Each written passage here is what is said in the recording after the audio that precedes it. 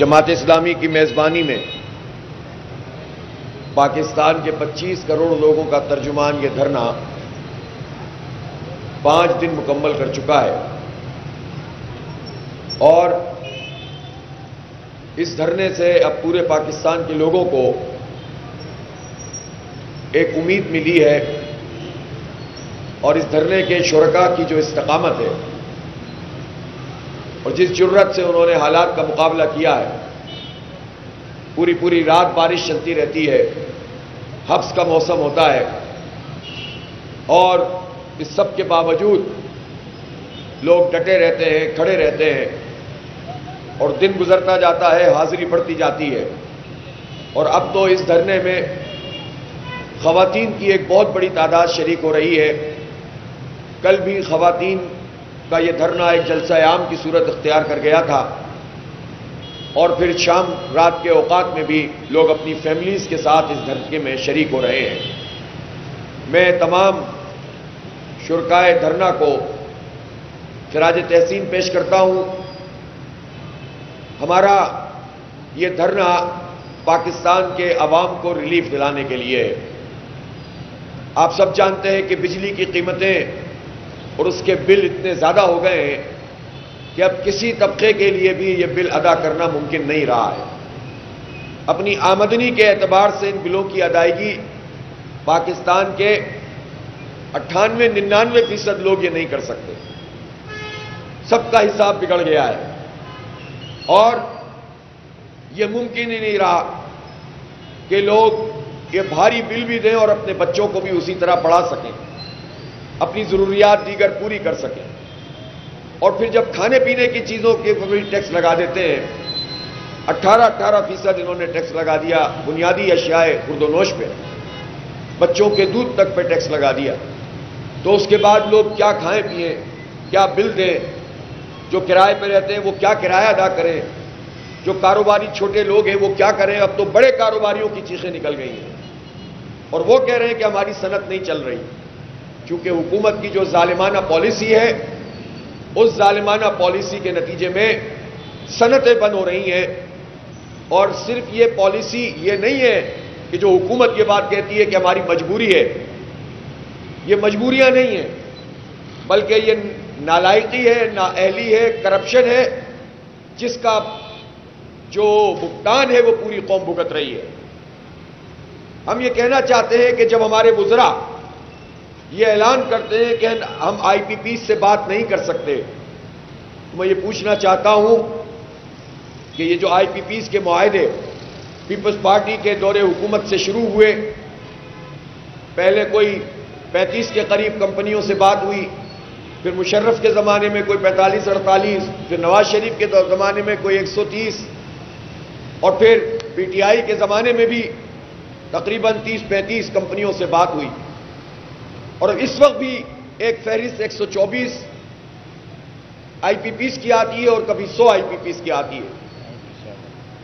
और हकाइक कौम के सामने पूरी तरह नहीं लाए जाते। मुआदे सामने नहीं आते। कहते हैं कि वो हम सामने ला नहीं सकते। आप खून निचोड़ सकते हैं लोगों का। आप बिल ज़्यादा कर सकते हैं। मुआदे सामने नहीं ला सकते। और इन मुआदों में जो ज्यादतियाँ और जुल्म इन्होंने किया है वो हैरत अंगेज में एक आईपीपी का आपको रेफरेंस देता हूँ, जो इस वक्त चल रही है और उस पर हुकूमत की कंपल्जन क्या होती है? हुकूमत की कंपल्जन ये होती है कि आप आरएलएनजी के ऊपर इसको चलाएँ।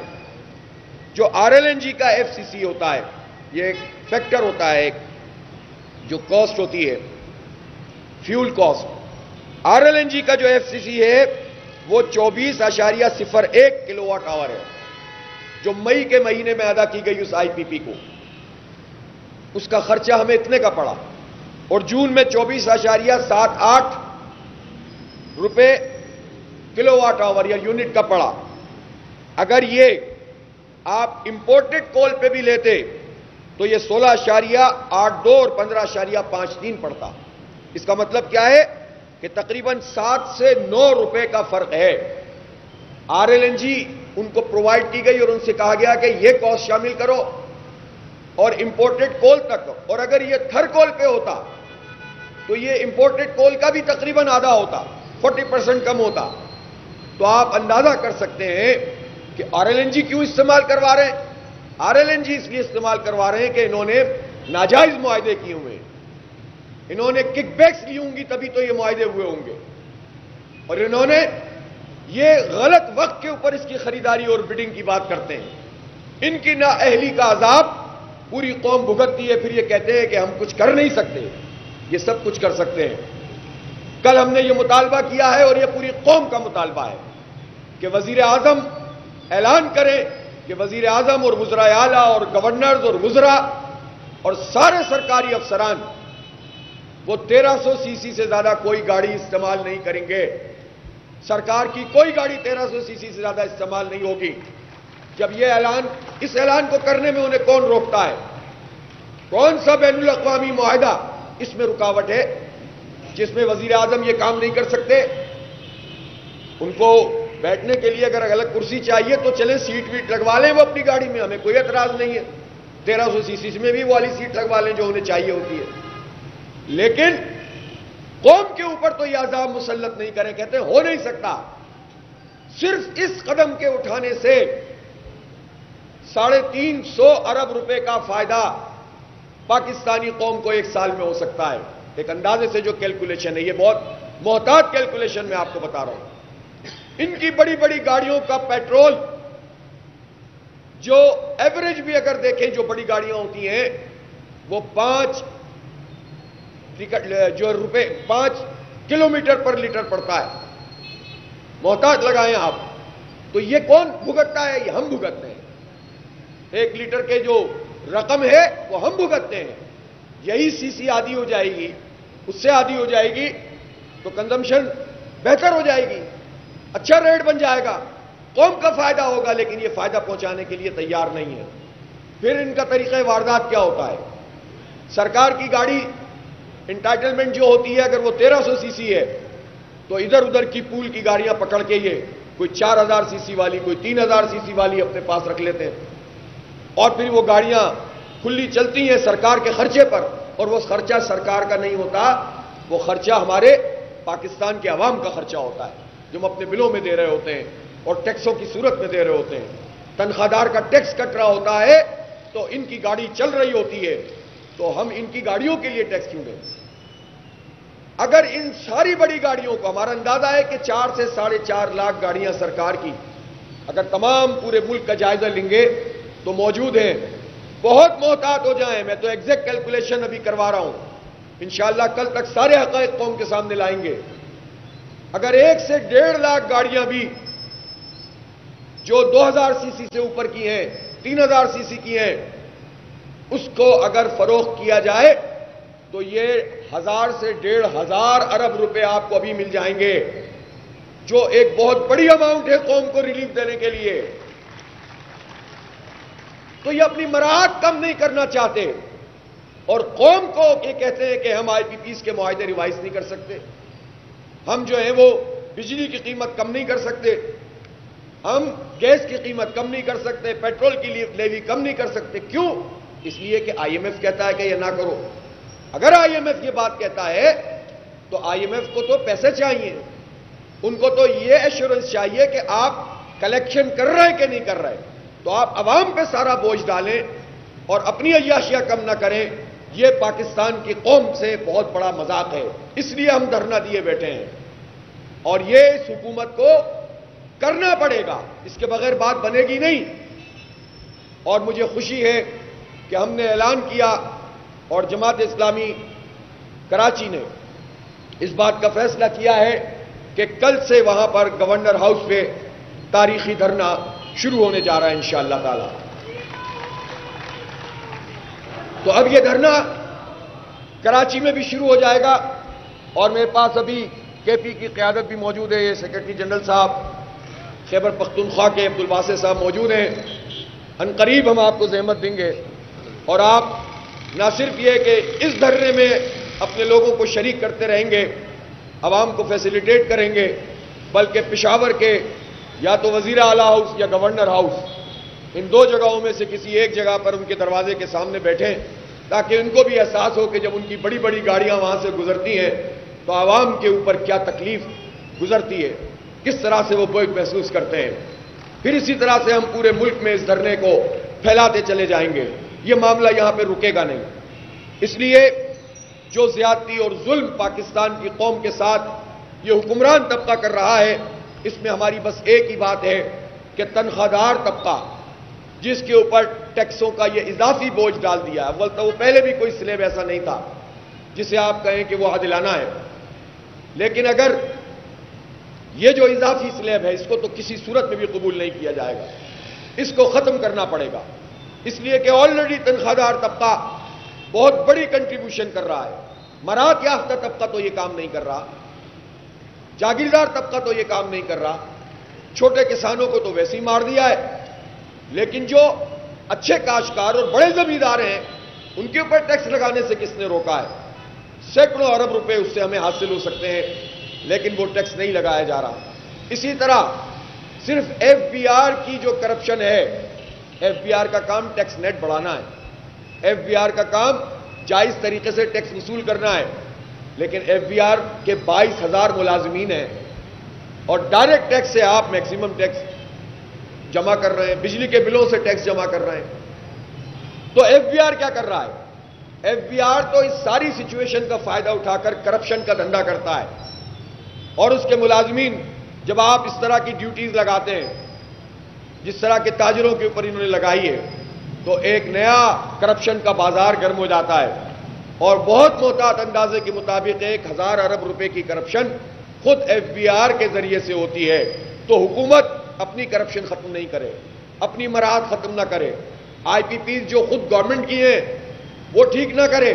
और ये कहे कि हम कर नहीं सकते, ये सबसे बड़ा झूठ है जो कौम से बोला जाता है।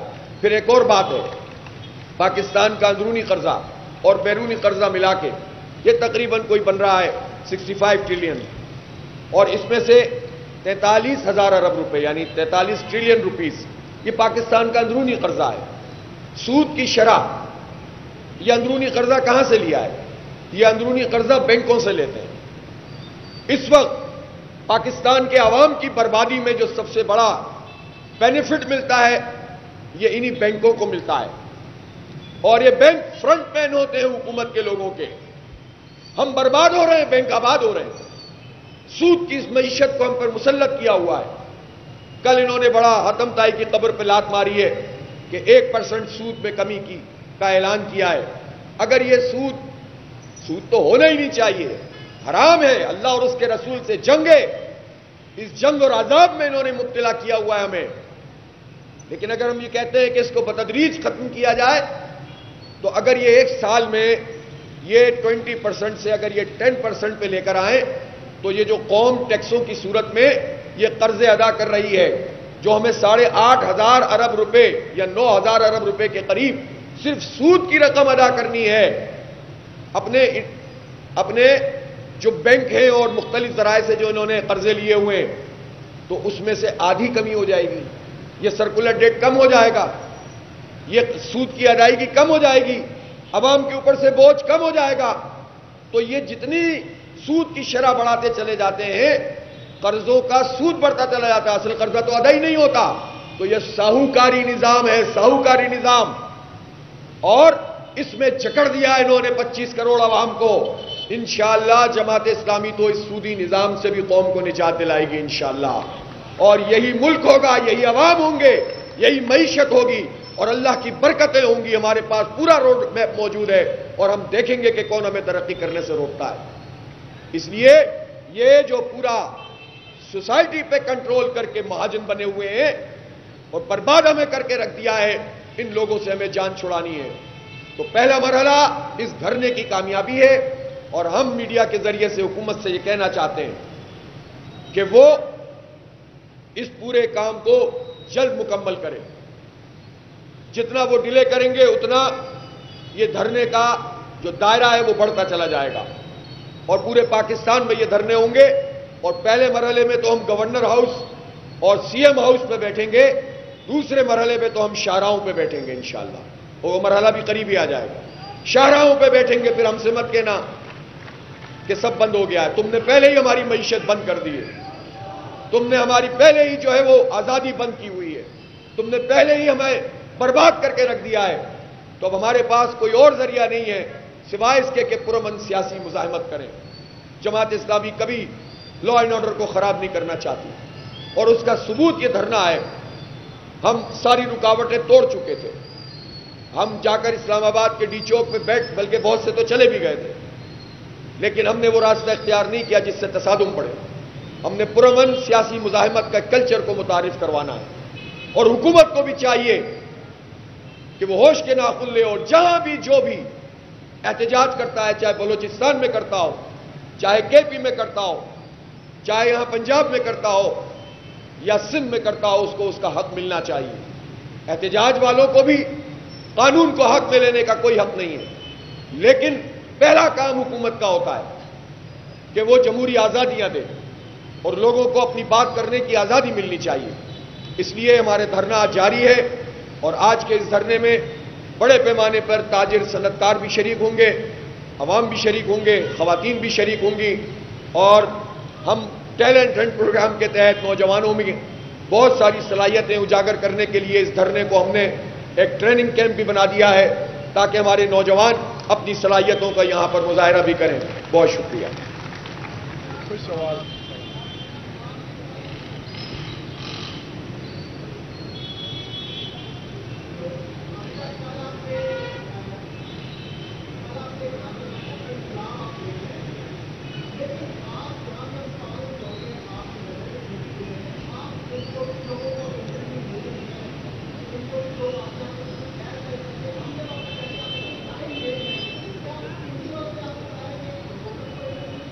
इस तरह नहीं नहीं, इस तरह की बात नहीं करें। इस तरह की बात ना करें। ये खिलाफ वाक़ है। मैं प्रेस कॉन्फ्रेंस रोज़ कर रहा हूँ। हर सवाल का जवाब देता हूँ। सवाल के जवाब देने से नहीं भागता। एक डेकोरम होता है हर पार्टी का। उसके मुताबिक हमारा जो भी डिपार्टमेंट तय करता है, वो हम करते हैं। हमारी पूरी लीडरशिप इस वक्त मीडिया के साथ ऑन बोर्ड है। अलहमदिल्ला और हमें मीडिया से शिकायत भी नहीं है।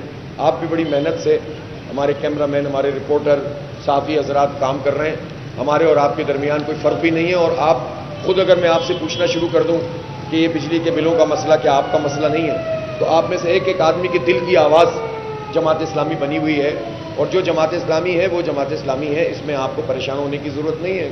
हमारी मीडिया के साथियों से आप बात कर लें, जो भी इशू है, वो देख लें। जी।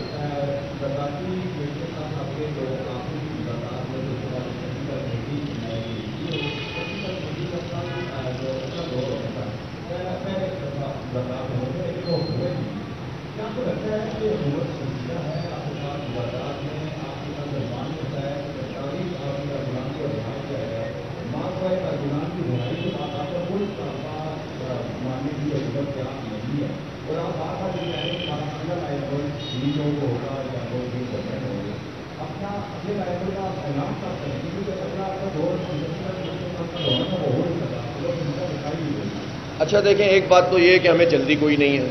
ये जल्दी तो है कि लोगों को रिलीफ मिल जाए फ़ौरन। लेकिन ये जल्दी नहीं है कि हम भागना चाहते हैं यहाँ धरने से और हुकूमत फ़ौरन आए और कहे कि जनाब, हमने ये यकीन दहानी करा दी, अब आप जाइए। ये कोई अलहमदुल्ला ये भी अभी पूछ लेता हूँ, जितने लोग यहाँ मौजूद हैं, आपको जल्दी है जाने की क्या? ये बैठे हैं अलहमदुल्ला बैठे अभी नहीं हो बाद में। तो जल्दी कोई नहीं है। दूसरी बात यह है कि मुजाकर किए हैं, गवर्नमेंट ने। अब उनके कोर्ट में बॉल है। टेक्निकल कमेटी वो बनाए, हमें कोई एतराज़ नहीं है। इससे हमारा कोई ताल्लुक नहीं है। हम तो हुकूमत की मुजाकराती टीम से बात करेंगे। हमने अपनी डिमांड्स उनको दिए हैं। वो अपनी टेक्निकल कमेटी से मशवरा करके उन डिमांड्स के मुताबिक हमसे बात करेंगे। बात करने के लिए हम तैयार हैं। हमें कोई एतराज़ नहीं है। लेकिन मसला तो लोगों को हल करना पड़ेगा। अगर वो ये समझ रहे हैं कि इस तरह टाल मटोल से हम थक जाएँगे तो वो तो आप देखें, हर गुजरते दिन के साथ इसमें इजाफा होता चला जाएगा। और मैंने तो सिर्फ़ ऐलान नहीं किया है ना इकदाम किया है। कल से गवर्नर हाउस सिंध में धरना शुरू हो रहा है। तो दो तीन दिन बाद हो सकता है पिशावर में शुरू हो जाए। फिर इसी तरह से जो है वो लाहौर में शुरू हो जाए। फिर सड़कों पे बैठना तो हमारे पास बड़ा अच्छा खासा रोड मैप है। आप परेशान हो, इंशाल्लाह। आप लोगों का, हम सबका, पूरी कौम का मसला है, ऐसे छोड़ के नहीं जाएँगे। जी।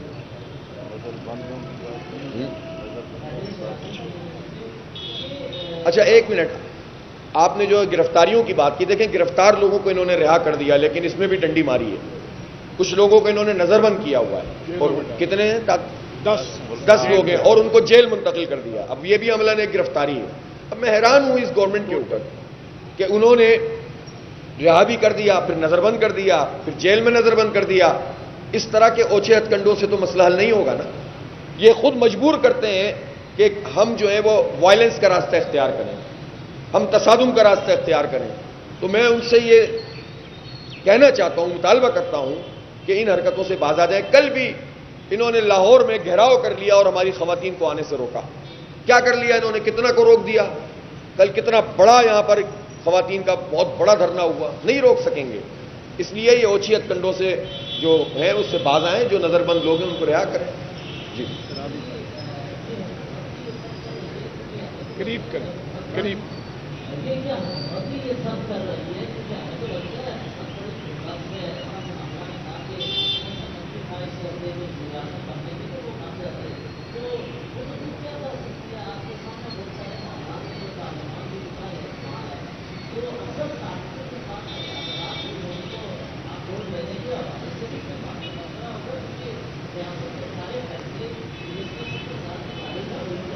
देखें हम फेस वैल्यू पे बात करेंगे। वो 45 की हुकूमत नहीं है, सैंतालीस की है, इस पर हमारा मौकफ वाजे है, लेकिन है तो वही ना। कल भी मैंने कहा था, बात तो उसी से करनी पड़ेगी। और वो जिससे भी मशवरा करें और हिदायत लें, ये उनका मामला है। हमारे सामने तो हुकूमत है। प्राइम मिनिस्टर का एक टाइटल तो मौजूद है ना? सारी मिनिस्ट्रीज मौजूद है। फैसले तो उन्हीं के दस्तखतों से होकर आते हैं, उन्हीं की काबीना से होकर आते हैं। तो वो जहाँ से भी मशवरा करें, ये उनका मसला है। हम तो गवर्नमेंट से बात करेंगे। ताकि बात बिल्कुल वाजे हो और पूरी कौम के सामने हो। करीब करीब करीब कर। समझ नहीं आ रहा आवाज़। करीब करें करीब।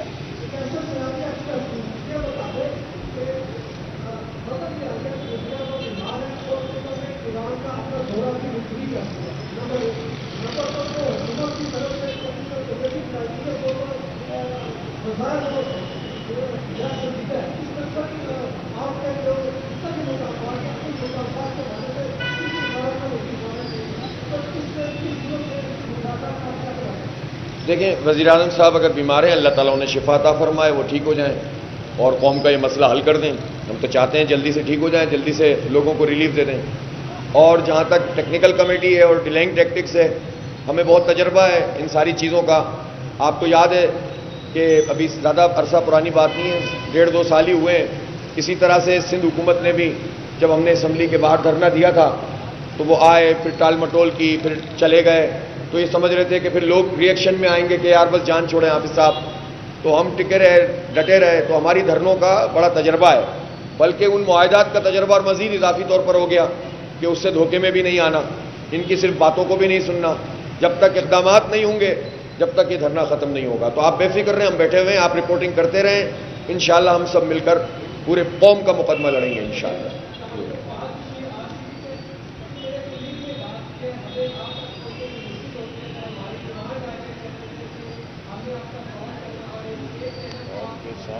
खड़ा हूँ आपका जवाब दे रहा हूँ।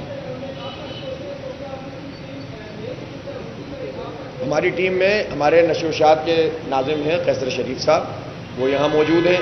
और हमारी डिजिटल मीडिया के सलमान शेख साहब मौजूद हैं। आप इनसे बात करें हर पार्टी का देखें अपना एक तरीका होता है उसके मुताबिक करेंगे इन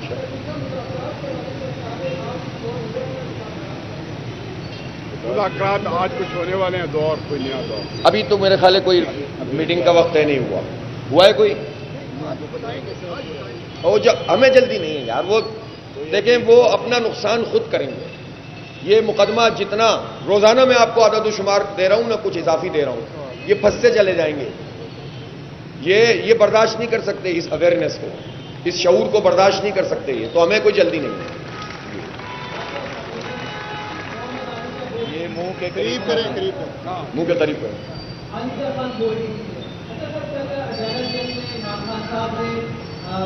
की है और उन्होंने कहा कि हम जमात की शिकायत करते हैं मोहम्मद साहब के लिए है आवाम के किसी बात नहीं है।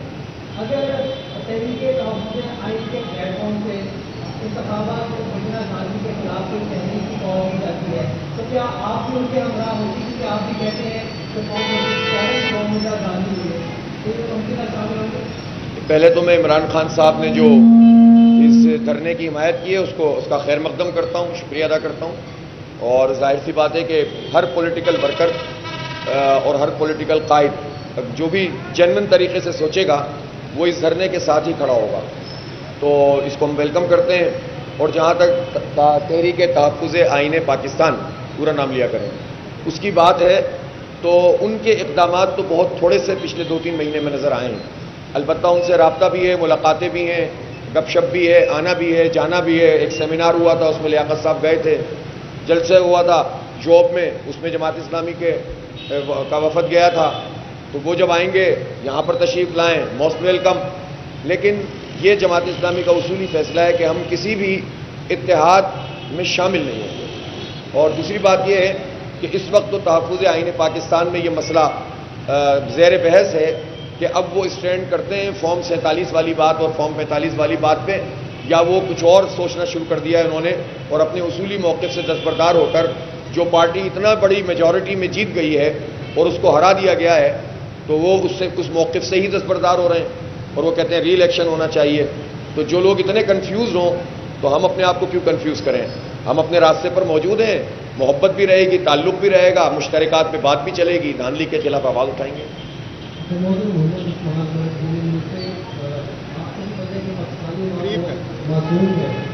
आपको जो में इतराजा लगाए जाते हैं हाफिज मेरे साथ नहीं हाफिज मेरे साथ रहोगे तो आवाज़ ज़्यादा चलती कौन सी वाले हाफिज की बात होगी मैंने नहीं लगाया था। इस वाले।